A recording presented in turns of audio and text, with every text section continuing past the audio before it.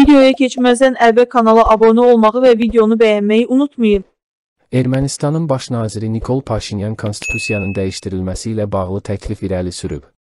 Paşinyan bu dəyişikliyin Azərbaycan və Türkiyə ilə qalıcı sülhün bərpa olunması istiqamətində olduqca önəmli olduğunu vurğulayıb. Digər tərəfdən Prezident İlham Əliyev deyib ki, Ermənistan konstitusiyasında və digər normativ hüquqi sənədlərdə dəyişikliklər edildiyi halda sülhə nail oluna bilər.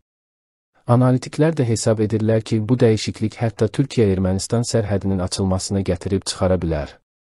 Mövzu ilə bağlı Yeni Sabah azı açıqlamasında politoloq Zaur Məmmədov da Ermənistan konstitusiyasında ərazi iddiaları ilə bağlı müddəaların mütləq çıxarılmalı olduğunu qeyd edib.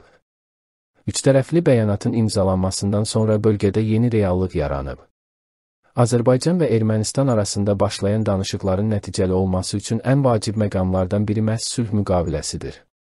Buna görə də Ermənistan yeni dövlətçilik mərhələsinə keçməlidir.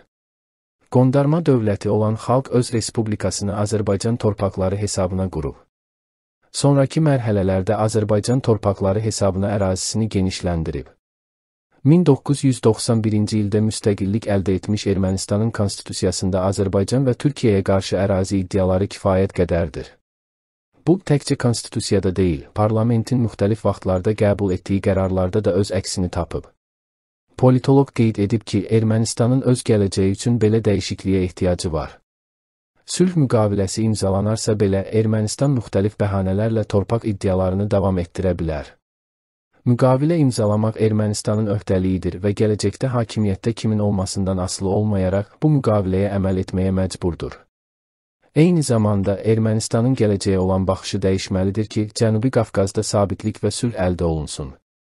Böyük Ermənistan düşüncəsi ləğv edilməli və zibilliyə atılmalıdır.